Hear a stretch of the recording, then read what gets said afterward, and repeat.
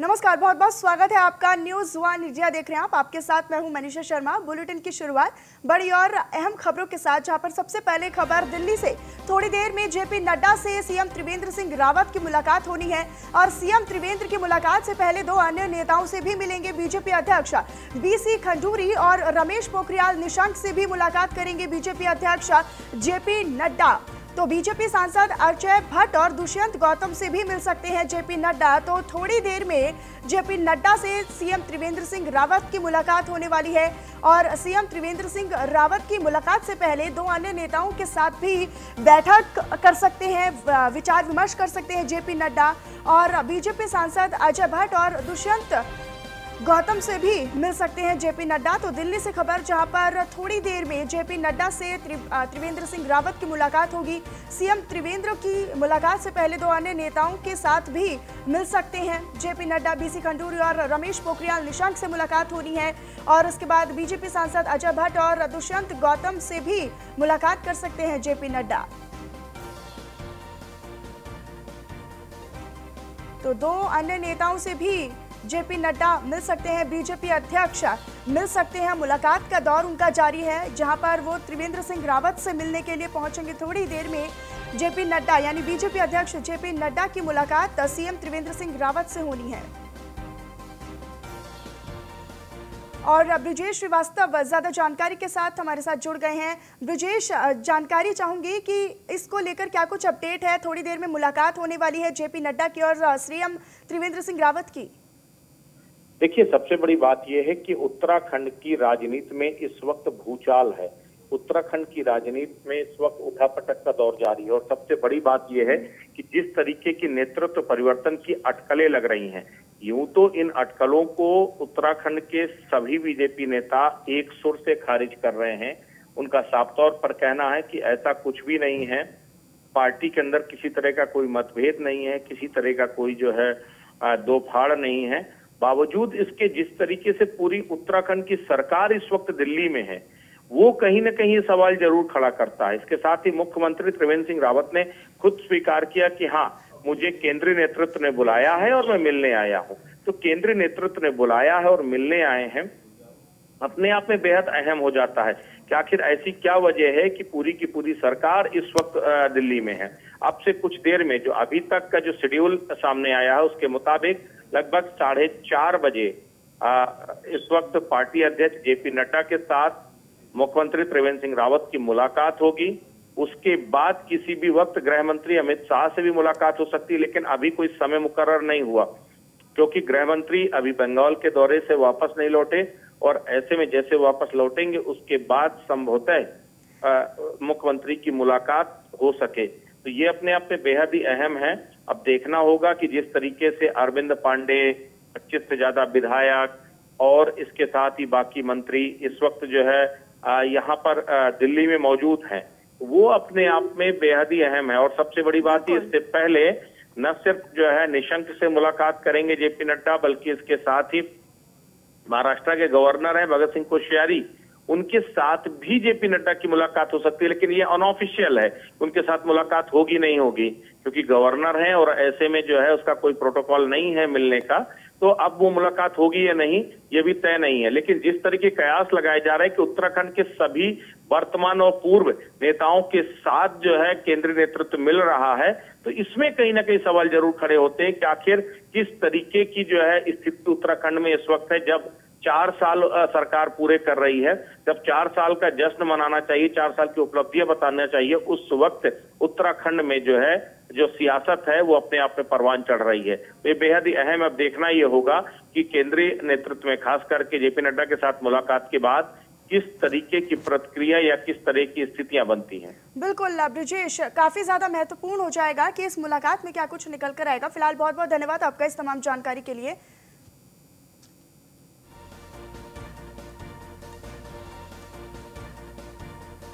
तो बीजेपी सांसद अजय भट्ट और दुष्यंत गौतम से भी मुलाकात कर सकते हैं। जेपी नड्डा, थोड़ी देर में आपको बता दें कि जेपी नड्डा से त्रिवेंद्र सिंह रावत मुलाकात करने वाले हैं।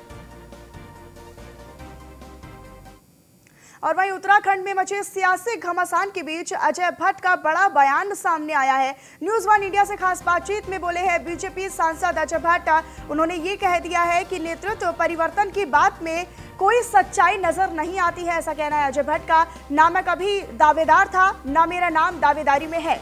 तो ये साफ़ किया है अजय भट्ट ने। उत्तराखंड में पार्टी पूरी तरीके से एकजुट है। सरकार के चार साल पूरे होने पर कोर कमेटी की बैठक हुई थी।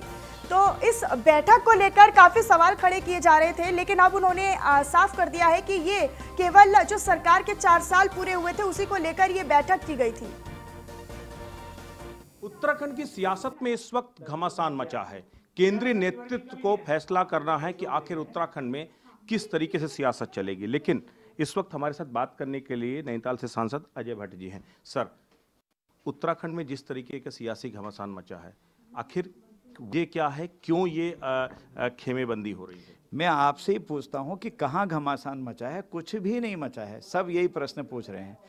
उत्तराखंड बिल्कुल सामान्य है। भारतीय जनता पार्टी की गवर्नमेंट चल रही है। कहीं कोई दिक्कत नहीं है। माननीय मुख्यमंत्री जी दिल्ली आए हैं केंद्रीय नेतृत्व से मिलने के लिए सामान्य प्रक्रिया है। इक्का दुक्का मंत्री भी आगे होंगे साथ में आ ही जाते हैं। आधे घंटे की फ़्लाइट है यहाँ बहुत नज़दीक है। हम चार साढ़े चार पाँच घंटे में कार से आ जाते हैं। इसलिए दिल्ली तो हमारे माननीय विधायक गणों का माननीय मंत्री गणों का आना जाना हमेशा ही लगा रहता है। पच्चीस 25 25 विधायक चार चार मंत्री इस वक्त पूर्व सांसद वर्तमान सांसद सारे लोग कुल मिलाकर के यहाँ पर हैं। तो ये क्या कुछ असामान्य नहीं लगता? नहीं बिल्कुल नहीं लगता। आप सांसदों को क्यों ले रहे हैं? सांसदों का सत्र सांसदों का तो काम है। पूर्व सांसद तो, तमाम लोग यहाँ पर हैं। नहीं तो पूर्व सांसद में एक आध लोग आगे होंगे मंत्री जी के साथ कोई। और 25 विधायक कहाँ आए हैं? मुझे तो कहीं दिखे नहीं। अच्छा नेतृत्व तो परिवर्तन की जो सुगबुगाहट है क्या उसमें कोई सच्चाई? कोई सच्चाई मुझे तो नहीं दिखती है। ये सब कपोल कल्पित बातें लगती हैं। तो आज मुख्यमंत्री जी ने कहा कि केंद्रीय नेतृत्व ने बुलाया है मैं उनसे मिलने आया हूँ। जो उनका फैसला होगा वो देखा जाएगा। हाँ तो ठीक है केंद्रीय नेतृत्व से आना कोई बुरा थोड़ी है मुख्यमंत्री जी ने ठीक बयान दिया है। हरीश रावत कहते हैं कि सबको अस्थायी करने वाली सरकार या पार्टी अब खुद आ, एक तरह से अस्थायी हो गई है। स्थायी तो नहीं बचा उसमें असमंजस की स्थिति है बीजेपी के अंदर। हाँ रावत जी पहले अपनी पार्टी देख लें अपना घर देखें। जिनके घर शीशे के होते हैं वो घरों पर पत्थर नहीं मारा करते हैं। माननीय रावत जी की इधर से निकल रहे हैं उनके अध्यक्ष जी उधर से निकल रहे हैं दोनों मिलते नहीं हैं। कहीं पर भी वो कहीं सिलेंडर का ड्रामा कर रहे हैं कभी कोई कुछ करता है कंधे में रखकर वो एक साथ नहीं आते हैं। तो इसलिए वो अपनी बात देखें हमारे वहाँ तो स्थायित्व तो है सही ठीक तरीके से चल रहा है सब ठीक चल रहा है। अजय भट्ट जी क्या आपको लगता है कि पार्टी 2022 में इसी नेतृत्व के साथ आगे जाएगी जो है? इसमें कहीं कोई क्या दिक्कत है? जो नेतृत्व है उसी के साथ तो आगे बढ़ेगी पार्टी। दावेदारियों के के बहुत सारे नाम चल रहे हैं। आप आपका भी नाम आप दावेदार कह दिया मैं तो मेरा नाम डाल दिया मैंने कभी दावा किया आज तक ज़िंदगी भर नहीं किया। मेरी पार्टी की कृपा बनी हुई है जो दायित्व दिया तो वो दायित्व को अच्छी तरह से निभाने की कोशिश की। लेकिन आज मैं देख रहा था मेरा नाम अखबार में आ रहा मेरा नाम टीवी में आ रहा क्यों भाई मैंने किससे कहा? मैं कहीं गया या किसी से मिलने गया या मैं इसका दावेदार हूँ कहा? सरकार चल रही है एक माननीय मुख्यमंत्री चला रहे हैं वहाँ पर तो ऐसी बात चलाना भी अच्छी बात नहीं है। अब लेकिन हम कह भी नहीं सकते हैं कुछ। अब आपसे कहेंगे प्रेस से अभी पता नहीं आप क्या चला दोगे हम आपसे भी कुछ नहीं कह सकते हैं। नहीं फिर भी मतलब देखिए सवाल इसलिए भी उठे हैं क्योंकि आ, आपकी कोर कमेटी की बैठक होती है केंद्रीय पर्यवेक्षक भेजे जाते हैं ऐसा पहले कभी ना केंद्रीय पर्यवेक्षक नहीं थे वो। राष्ट्रीय हमारे उपाध्यक्ष और हमारे वहाँ के प्रभारी जो राष्ट्रीय महामंत्री हैं दुष्यंत कुमार जी और रमन सिंह जी, वो आए थे दो पॉइंट पर। ग्यारह बारह, तेरह, चौदह को हमारी प्रदेश कार्य समिति है, जिसमें चिंतन बैठक भी है, जिसमें पदाधिकारियों की बैठक भी है, प्रदेश पदाधिकारियों की। और इतना ही नहीं है, यही बात नहीं है, बल्कि वहाँ पर हमारे राष्ट्रीय महामंत्री संगठन बी एल संतोष जी आ रहे हैं। तो वो एक अच्छी दिव्य और भव्यता बनी रहनी चाहिए, उसका हमारा एजेंडा कैसे फिक्स होगा, ये सारी चीज़ें हैं। तो और इसी तरह से हमारी इस सरकार को चार साल का समय पूरा हो रहा है अट्ठारह मार्च को। सरकार की उपलब्धियों को जन जन तक गाँव गाँव गली गली मोहल्ले मोहल्ले बूथ से भी नीचे कैसे पहुँचा सकते हैं इसकी भी प्लानिंग दो ही बातों पर बात हुई उस दिन माननीय रमन सिंह जी के सामने और माननीय प्रभारी जी के सामने। सर आखिरी सवाल ऑल इज़ वेल है?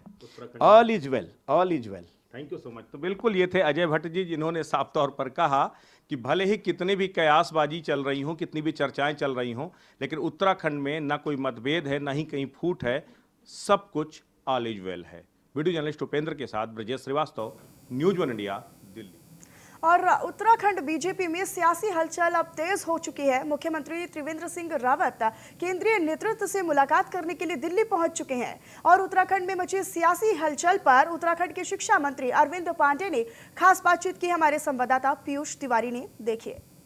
उत्तराखंड के राजनीतिक गलियारों में हलचल तेज है। हमारे साथ बातचीत करने के लिए उत्तराखंड के शिक्षा मंत्री अरविंद पांडे जी हैं। सर, आज सीएम भी दिल्ली आए हुए हैं, कई मंत्री आए हुए हैं, विधायक आए हुए हैं। हलचल तेज है? क्या कुछ कहेंगे सर ये सब चीज़ें कहीं ना कहीं काल्पनिक है, तिवारी जी। और कोई ऐसी हलचल कहीं नहीं है। रही बात सीएम के और मंत्रियों की, विधायकों की दिल्ली आने की तो देखो स्वाभाविक है। प्रदेश में भी और सेंट्रल गवर्नमेंट में भी एक ही दल की राजनीति है, एक ही दल की सरकार है। इस नाते हमारे प्रदेश का डेवलपमेंट ज़्यादा हो, अच्छे काम हो ज़्यादा ज़्यादा जन जन, जनता की उम्मीदें हैं, उसको हम पूरा कर सकें। एक साल बाद चुनाव होना है। तो अपने प्रदेश के विकास के लिए मुख्यमंत्री का, मंत्रियों का, विधायकों का आना स्वाभाविक है। ये इसी का हिस्सा है। कोई अलग से राजनीतिक हलचल हो या कोई ऐसी बात हो, कहीं से कहीं तक हम लोग की जानकारी में ऐसा कहीं भी ऐसा कोई है नहीं। सर, आप कह रहे हैं कि दिल्ली आना स्वाभाविक है विधायक हो या मुख्यमंत्री हो, लेकिन दो दो पर्यवेक्षक गए थे, रमन सिंह गए थे, दुष्यंत कुमार गौतम गए थे। अब कहा जा रहा है कि उन लोगों ने जो रिपोर्ट दी है आला कमान को, इसी को लेकर सीएम यहाँ पे आए हुए हैं कहीं ना कहीं। आप जानते हैं कि कोर कमेटी की जब बैठक होती है, उस बैठक में हिस्सा लेने के लिए प्रदेश के प्रभागी हुए या हमारे कोई वरिष्ठ नेता हुए, ये सेंटर से जाते ही जाते हैं। तो ये प्रदेश के अंदर कोर कमेटी की बैठक थी, उस बैठक में हिस्सा लेने के लिए गए थे। अब कोई रिपोर्ट इस टाइप की बनी है किस टाइप की बनी है क्या है वो हम तो आप ही लोगों से सुनना है भाई।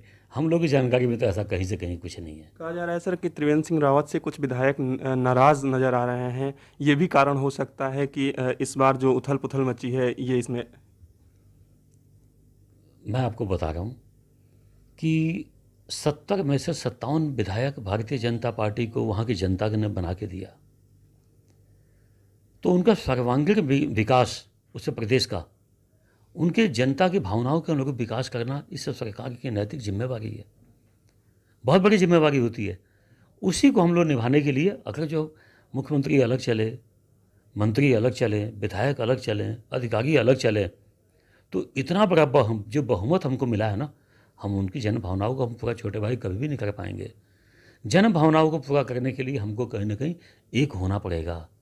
और आज उत्तराखंड प्रदेश में मुख्यमंत्री, सब मंत्री, विधायक, अधिकारी, हम सब लोग एक मन से काम कर रहे हैं विकास के लिए। और उत्तराखंड उत्तराखंड प्रदेश को इस हिंदुस्तान का नंबर वन प्रदेश बनाने के लिए, आर्थिक रूप से, सामाजिक रूप से, धार्मिक रूप से विकास के लिए, पर्यटन की दृष्टि में, शिक्षा की दृष्टि में, हर क्षेत्र में हम लोग उत्तराखंड प्रदेश का एक बड़े मन के साथ और एक मन के साथ हम लोग काम कर रहे हैं। कोई कहीं से कहीं तक मन मुटाव नहीं है कोई गुटबाजी नहीं है। निजी तौर पे क्या सीएम त्रिवेंद्र सिंह रावत के साथ हैं? मैं आपसे कहना चाहता हूँ कि हमारे यहाँ कभी भी कोई हो जो देश के अंदर कई तरह की विचारधाराएँ काम करती हैं तो उसमें से हमारी विचारधारा भी है। हमारी विचारधारा में व्यक्ति को महत्व तो कभी भी नहीं दिया गया है। हमारे यहाँ संगठन बड़ा होता है व्यक्ति बड़ा नहीं होता है। कांग्रेस के अंदर व्यक्ति बड़ा होता है वहाँ संगठन नाम की कोई चीज़ ही नहीं है। हमारे यहाँ त्रिवेंद्र जी या हम अलग अलग नहीं है भाई। हम लोग एक ही हैं। बिल्कुल हम खुश हैं। हमारे सब मंत्री सब विधायक हमारे अधिकारी सब हम एकजुट हैं। एकजुट होकर प्रदेश के विकास के लिए हम देने का सोचते हैं। आने वाले दिनों में सर चुनाव है उत्तराखंड में। किसके चेहरे पर चुनाव लड़ेंगे आप?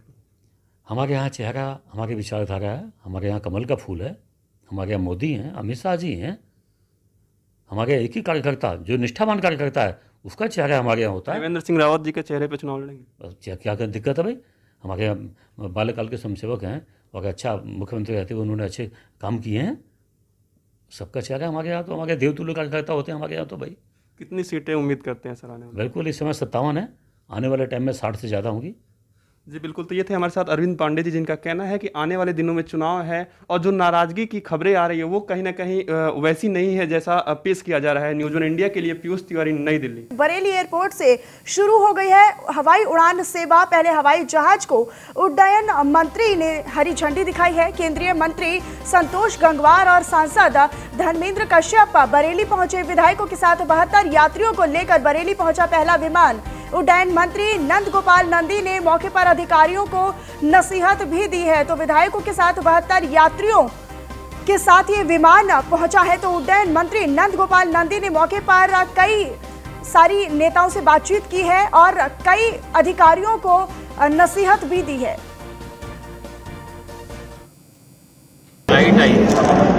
इसकी क्रू मेंबर इसको उड़ाने के लिए पायलट और इंजीनियर सब महिलाएँ बधाई देता हूँ, शुभकामनाएँ देता हूँ और आदरणीय इस देश के प्रधानमंत्री नरेंद्र मोदी जी के नेतृत्व में उनकी बहुत ही महत्वाकांक्षी योजना, सब जुड़े सब जुड़े, पूरे देश का हर नागरिक उसको और आगे बढ़ाते हुए माननीय मुख्यमंत्री जी ने इस प्रदेश के कर्मयोगी मुख्यमंत्री योगी आदित्यनाथ जी ने देश के हर मंडल मुख्यालय को, प्रदेश की राजधानी, देश की राजधानी और देश के और बड़े शहरों से जोड़ने की जो मुहिम चलाई है, उसमें उत्तर प्रदेश आज देश में अग्रणी है। मैं बधाई देता हूँ और जनपद वासियों को और प्रदेशवासियों को इस बात का भरोसा दिलाता हूँ कि हमारी सर्वोच्च प्राथमिकता है हवाई सेवा, हवाई सेवाएँ सस्ती, सुलभ और सुरक्षित और खबर वाराणसी से, जहाँ पर सीएम अभ्युदय योजना के तहत अभ्युदय कोचिंग का उद्घाटन करने पहुँचे कमिश्नर दीपक अग्रवाल ने कोचिंग का उद्घाटन भी किया। संत अतुलानंद विद्यालय की डायरेक्टर समेत सैकड़ों छात्र इस दौरान मौजूद रहे। योजना के तहत सभी छात्रों को निशुल्क कोचिंग दी जाएगी। तो बड़ा फैसला की योजना के तहत सभी छात्रों को निशुल्क, यानी मुफ़्त में कोचिंग दी जाएगी आईएएस और पीसीएस जैसे प्रतियोगी परीक्षाओं के लिए निशुल्क कोचिंग, मुफ़्त कोचिंग दी जाएगी। छात्रों ने सीएम योगी की तारीफ़ करते हुए शुभकामनाएँ दी हैं। तो सीएम अभ्युदय योजना के तहत अभ्युदय योजना का उद्घाटन किया गया। कमिश्नर दीपक अग्रवाल ने कोचिंग का उद्घाटन किया।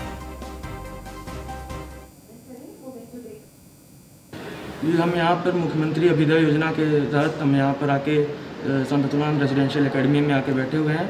और मुझे लगता है कि ये मुख्यमंत्री योगी जी का बहुत सराहनीय कार्य है और हमें लगता है कि इससे बहुत ही बच्चे अपनी जो जेई और नीट की परीक्षा है, उसमें बढ़िया नंबर से उत्तीर्ण होंगे और बहुत ही सक्सेसफुल हो सकेंगे। जो पढ़ाई नहीं कर पा रहे हैं और जो जो किसी चीज़ से या किसी पैसे से के अभाव में अपनी परीक्षा नहीं पास कर पा रहे हैं, उनके लिए बहुत ही उचित उचित योजना है। क्या बनना चाहते हैं आप? जी मेरा उद्देश्य है मैं तो जेई आई टी जेई की प्रिपरेशन कर रहा हूँ मुझे इंजीनियरिंग करना है।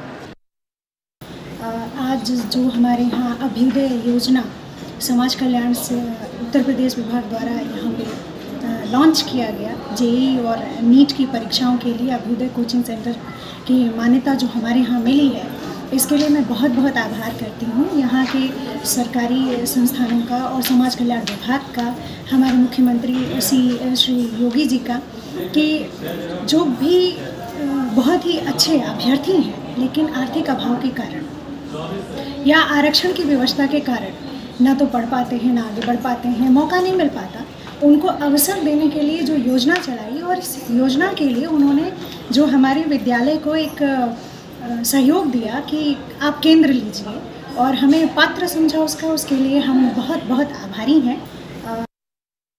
और मैंने जे के लिए इस जो मुख्यमंत्री योगी जी ने अभ्युदय योजना निकाला है, उसके लिए मैंने टेस्ट दिया था और फिर काउंसलिंग हुई मेरी और हमें यहाँ पे बुलाया गया है। आज हमारी फ़र्स्ट क्लास थी और हमें बोला गया है कि कल से हमारी क्लासेस चलेंगी। और मैं बहुत खुश हूँ कि हमें भी मौका मिला है यहाँ पे पढ़ने का। और जो जो जो, जिन्हें जो लोग वीक थे इकोनॉमिकली उन्हें भी एक अच्छे कंटेंट मिल रहे हैं पढ़ने के लिए। आज जो अभ्युदय योजना प्रारंभ हुई है, इसके लिए मुख्यमंत्री योगी जी को बहुत बहुत धन्यवाद। कि उन्होंने हमारे विद्यालय को चुना। हम लोग बहुत ही सौभाग्यशाली हैं कि हम अपने प्रदेश की उन बच्चों को यहाँ नीट, जेई की परीक्षा दिलवा सकेंगे, पढ़ाई करवा सकेंगे, जिसके लिए वो दूर दूर जाते रहे हैं। और इसके लिए मुख्यमंत्री जी की ये जो पहल है, वो उसके लिए हम लोग बहुत ही धन्यवाद देते हैं। आज का दिन बहुत ही सुंदर दिन है, क्योंकि आज जो यूपी सरकार की अभ्योदय योजना है, उसका सेंटर वाराणसी में यहाँ पे स्कूल में खोला गया है। हम लोग के मंडल, मंडलायुक्त द्वारा, श्री दीपक अग्रवाल जी द्वारा। और इसमें जो एक सामान्य वर्ग के बालक और बालिकाएँ हैं, वो लोग ज़रूर इंजीनियरिंग की, मेडिकल की परीक्षाओं के लिए, वो जो मेरिटोरियस बच्चे हैं, इससे बहुत ज़्यादा उनको लाभ होगा। और इस तरह की योजनाओं के लिए मैं माननीय मुख्यमंत्री जी की बहुत बहुत उनको सारे लोगों की तरफ़ से उनका आभार। और इसी के साथ इस बुलेटिन में इतना ही। नमस्कार।